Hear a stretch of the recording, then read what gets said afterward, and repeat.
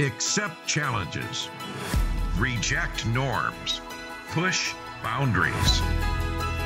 This is Barrow Neurosurgery Base Camp.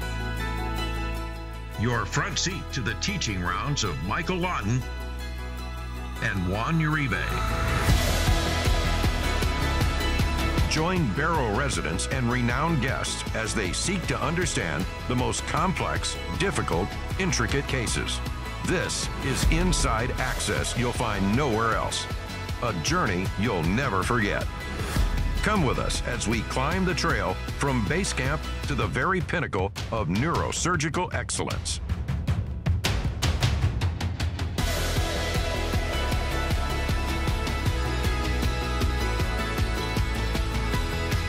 All right. Well, welcome to uh, Base Camp.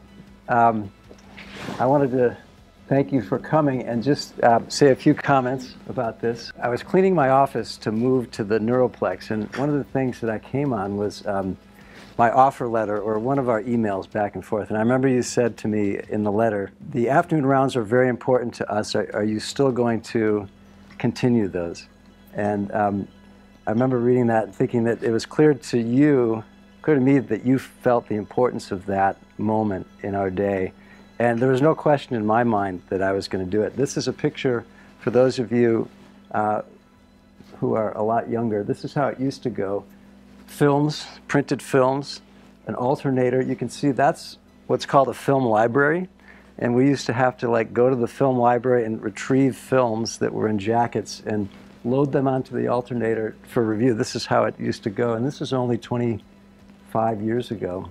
And you can see in the audience there, um, this is uh, this is me. Um, this here, does anyone recognize this guy?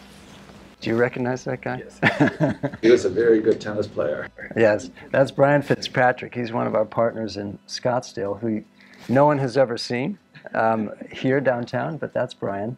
Um, this here, anyone know this guy? Do you recognize him? Yeah, that's AJ Wakhloo. He's the. Saw him last month. Yeah, AJ is the inventor of Surpass, and uh, now you won't recognize him if you just see this picture because now he's totally gray. He's lost most of his hair. He's got a beard, and uh, he looks quite different. You guys recognize this? Yeah, there's Chris, and then uh, there's a little facial hair right there. anyway, th- this is how we, we used to do it. One of those moments, for, I think, for everybody. When you were a junior in the trenches, um, at least I remember just being kind of pulled out of the trench and being able to come up and have this little moment of reprieve where you could learn something, you could kind of be a part of the team and just you know, enjoy the moment before getting sent back to the trench.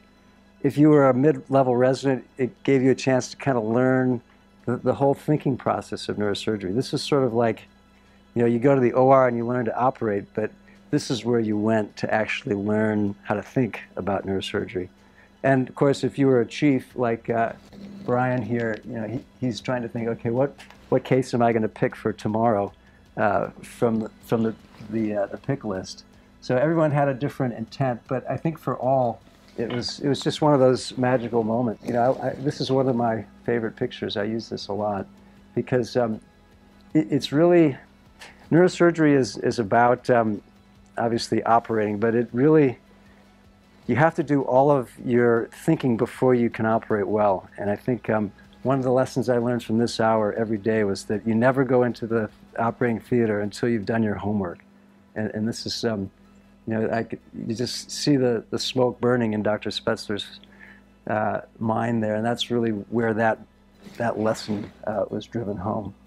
So it does continue. You know, um, we've moved it forward. It's no longer the alternator. You know, this is sort of how um, I viewed Eller 3.0, and uh, it, it's a, it continues to be for me um, one of those special places and special times.